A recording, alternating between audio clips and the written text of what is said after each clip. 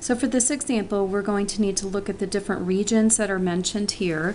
And all of these are given to you as cardinalities of different regions. And so you're going to have to do a little bit of um, backtracking and kind of look at these overlapping regions and kind of fill out the missing pieces of the puzzle that way.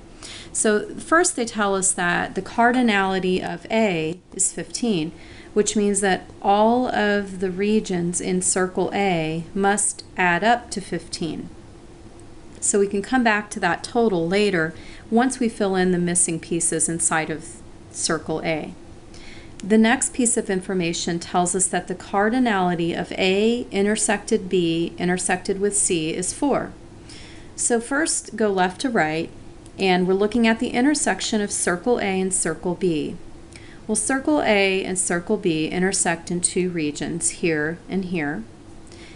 And then we want to carry that intersection over and intersect that with circle C.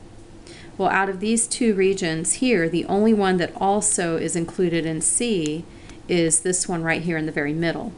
So the cardinality of that particular piece is 4. So that one I can actually fill in directly with a 4. The next piece of information says the cardinality of A intersected with C equals 11. So circle A and circle C intersect in two regions.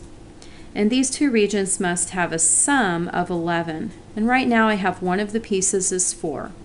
So 11 minus 4 is 7. Therefore, I know that that piece there is 7. Next, we have the cardinality of A intersected with B complement is 9. So we're looking at circle A and finding its intersection with the complement of B. The complement of B is all regions outside of circle B. So I want to find all regions outside of circle B that are also in A. That's going to give this intersection. So that's going to give me this region here and this region here as the two regions that are in A that are not in B. Now that cardinality is 9, which means that those two regions must have a sum of 9. And since I have 7 in the one region, I know this other region here is 2.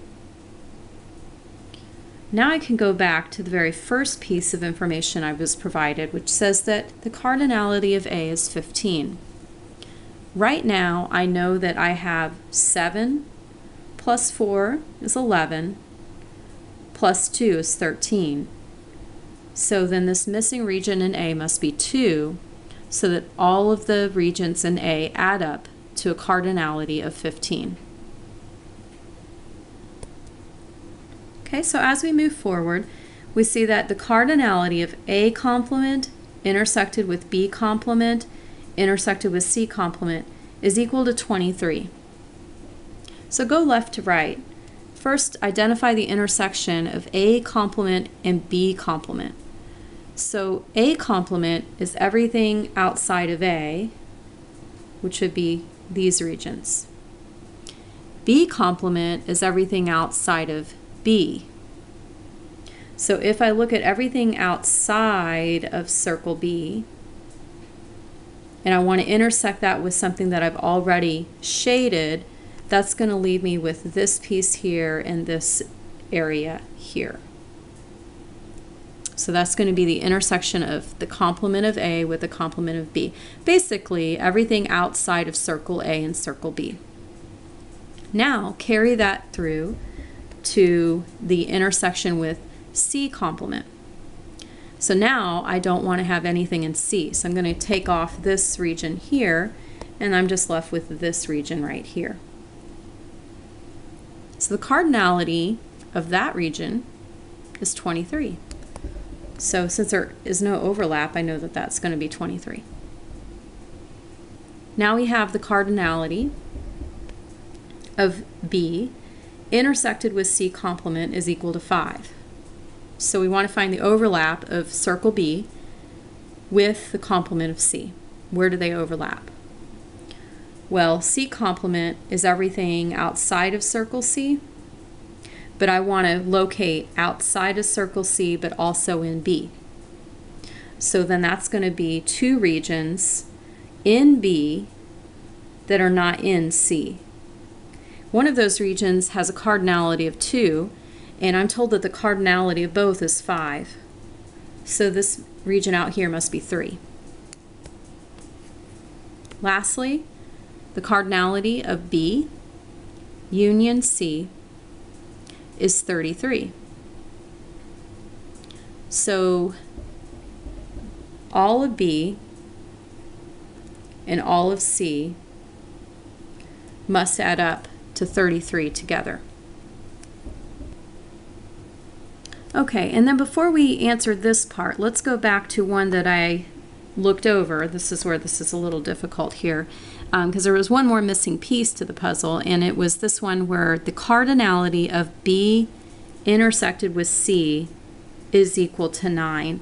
So B, circle B and C intersect in two regions. One of them I know is 4, and now I know their cardinality is 9, so then this piece here is 5. And so this last piece now makes sense because the cardinality of B union C is 33.